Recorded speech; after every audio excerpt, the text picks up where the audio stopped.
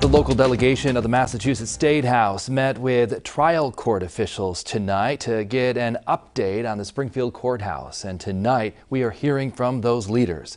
22 News reporter Sydney Snow is live for us in Springfield tonight. In Sydney, it sounds like there are still a lot of safety questions here. Yeah, Don, these local lawmakers say that they are hopeful for the future of the courthouse, but there is still no immediate fix, which they say needs to happen.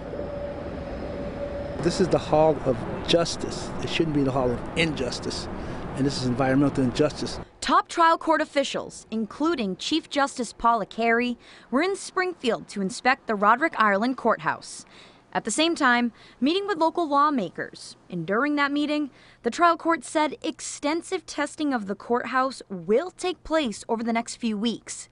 And that will include the air handlers, the air ducts, electrical systems, and the pipes. This building is sick. I mean, even if the studies come back and say, okay, the air quality is good, the ducts are good, the uh, electrical is good, uh, there's still an underlying issue here, right? People have gotten sick. People have died of cancer, they've died of ALS.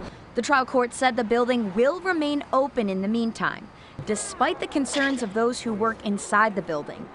Local lawmakers feel once again Western Massachusetts is being overlooked. If this was a courthouse in Boston Municipal or Roxbury, they would have figured a way how to resolve the situation to make their people feel comfortable going into the building.